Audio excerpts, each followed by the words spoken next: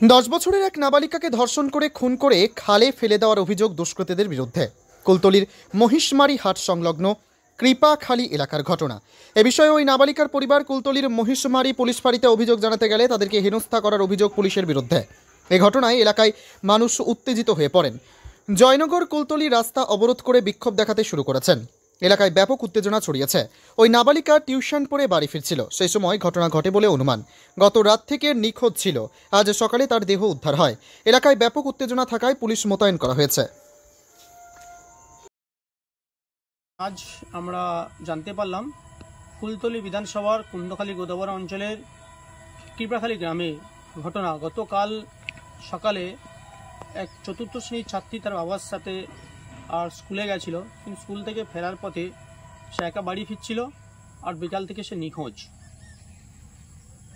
রাত্রে পরিবার সহ আর বাড়ির লোকজন ক্যাম্পে গেছিল মুন্সিপালিটি ক্যাম্পে পুলিশ ক্যাম্প কিন্তু তারা কোনো গুরুত্ব দেয়নি। আজ ভোরে তার থেতলানো মুখ সহ মৃত অবস্থায় পাওয়া যায়, বাড়ির কাছাকাছি।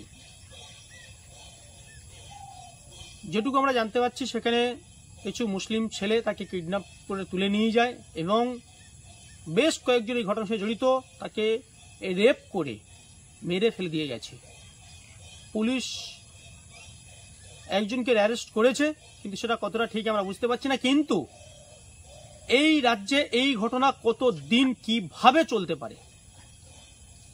এই রাজ্যে একটা মহিলা মুখ্যমন্ত্রী আর সেই রাজ্যে দিনের পর দিন এই ঘটনা এর বন্ধ হবে কবে? এর শেষ কবে আমরা জানতে চাই।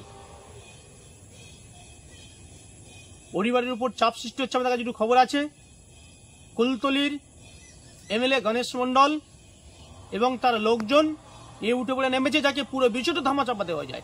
পুলিশ মানুষেরও প্রতিবাদী মানুষ যারা প্রকৃতির বিচার চাইছে, তাদের উপরে অত্যাচার, লাঠিচার্জ চালাচ্ছে। খবর আমাদের কাছে আছে। পুলিশ, তুমি কবে শিক্ষা নেবে? আমরা জানতে চাই। এবং এই বিচারের জন্য আমরা সর্বতভাবে পরিবারের পাশে আছি। এর শেষ পর্যন্ত আমরা এই পরিবারের সাথে আছি। আমরা আছি, এই অন্যায়ের প্রতিবাদ আমরা করবই, এই অন্যায় আমরা রুখবই। এবং সারা পশ্চিমবঙ্গের মানুষের মতো এখানকার যে জনগণ, সাধারণ মানুষ যেভাবে রাস্তা নেমেছে, আমরা তাদের সাথে আছি। আর এর প্রকৃত দোষীদের আমরা শাস্তি শুধু নয় ফাঁসি তো ঝলাবো, শেষ পর্যন্ত আমাদের এই লড়াই জারি থাকবে। এই লড়াইয়ে লড়বো আমরা ওই পরিবারের সাথে নিয়ে। নমস্কার, উৎপল নস্কর, ভারতীয় জনতা পার্টি, জেনেভা সাংগঠনিক জেলার সভাপতি। গতকাল কুলতলির কৃপাখালী গ্রামে একটি চতুর্থ শ্রেণির ছাত্রীর ওপরে যে নারকীয় অত্যাচার হয়েছে এবং তারপর তাকে ধর্ষণ করে, খুন করে জলে ভাসিয়ে দেওয়া হয়েছে, এই ঘটনার আমরা তীব্র নিন্দা করছি। সেই ছাত্রীটি যখন বাড়ি ফিরছিল, তখন তার বাবার সঙ্গে দেখা করে বাড়িতে ফেরে।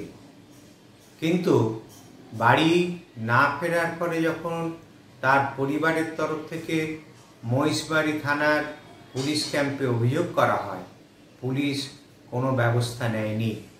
তারপর সেখান থেকে তাদের কুলতলি থানায় যেতে বাধ্য করে।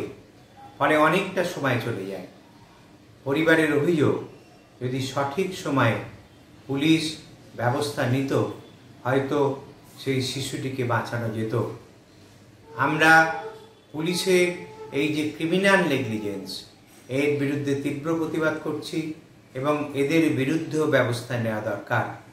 আর যে দুষ্কৃতীরা এই দুষ্কর্মের সঙ্গে যুক্ত, এই হত্যা এবং ধর্ষণের সঙ্গে যুক্ত, একজন অ্যারেস্ট হয়েছে আরও অনেকেই আছে, তাদের প্রত্যেকের শাস্তি হওয়া দরকার অ্যারেস্ট হওয়া দরকার এবং আমরা অত্যন্ত অবাক হচ্ছি যখন আরজিকরের ঘটনা ঘটছে।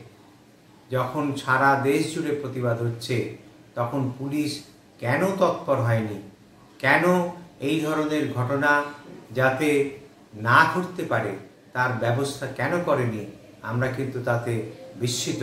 ফলে সমস্ত ঘটনার বিরুদ্ধে আমরা রাজ্য প্রশাসনের কাছে অভিযোগ করছি যে তারা দ্রুত ব্যবস্থা নিক।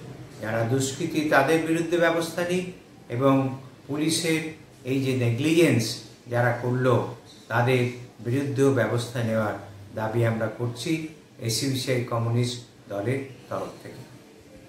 নিয়ন্ত্রণে আছে আমাদের এখানে পুরো পুলিশ ফোর্স আছে পুরো পুলিশ টিম আছে আমরা পুরো ম্যাটারটা দেখে নিচ্ছি এখন পরিস্থিতি নিয়ন্ত্রণে আছে। এই ঘটনা মানে এতটা উত্তেজনা কেন ছড়ালো যে আরেকটা অভিযোগ আসছে যে পুলিশ গতকাল এখানে এসেছিল সেখানে অভিযোগ নেওয়া হয়েছে দেখুন আপনারা এখানে জানেন এটা আমাদের মহেশমারি আছে পুলিশ ক্যাম্প আমরা গতকাল রাতে নটার সময় খবর পেয়েছি। খবর পাওয়ার মাত্রই আমরা কিন্তু ইনভেস্টিগেশন শুরু করে দিয়েছি। যেহেতু মিসিং কেস ছিল মাইনাস ইমেজ ছিল, সুতরাং আমরা এখানে ইমিডিয়েটলি ওনাদেরকে বলা হয়েছে, আমরা থানায় গিয়ে কেস করা হয়েছে। আপনারা জানেন হয়তো রাত সাড়ে বারোটার সময় আমরা আমরা কমপ্লেন পেয়েছি বারোটা নাগাদ। সাড়ে বারোটায় কেস করেছি। নটার সময় যখন আমাদের কাছে খবর আসে মিসিং হয় মেয়েটি, আমরা ইমিডিয়েটলি ইনভেস্টিগেশন শুরু করে দিই। কোথার থেকে মিসিং হলো, ওই তদন্ত আমরা খতিয়ে দেখি। কে লাস্ট দেখেছিল ওদের সঙ্গে কথা বলি।